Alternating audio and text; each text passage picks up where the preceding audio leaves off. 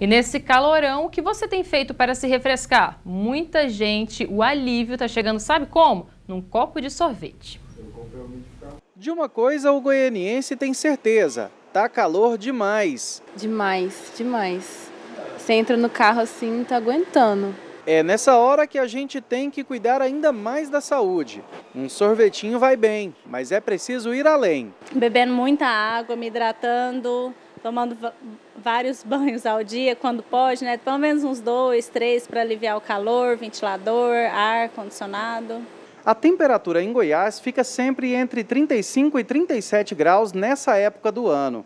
Mas, segundo o Instituto Nacional de Meteorologia, a projeção é de aumento para os próximos dias, podendo chegar a 41 graus. Na mesma proporção estão as projeções de vendas nas sorveterias. Essa aqui fica no setor Bueno.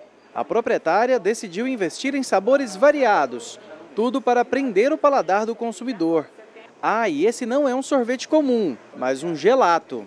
Gelato em si, ele é feito é, em pequenas quantidades, ele tem a, a matéria-prima é diferente, nós não, não adicionamos é, conservantes, é, hidro, gordura hidrogenada. Considerado o melhor mês para os sorveteiros, setembro promete um aumento de até 40% nas vendas reflexo do clima e também de compradores como o seu Otacílio.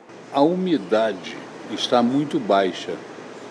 Então é difícil, mesmo com ar condicionado, com ventilador, alguma coisa, suprir essa umidade que está faltando aqui para gente. Então, pelo menos a gente tenta disfarçar. Por isso eu estou a tomar sorvete.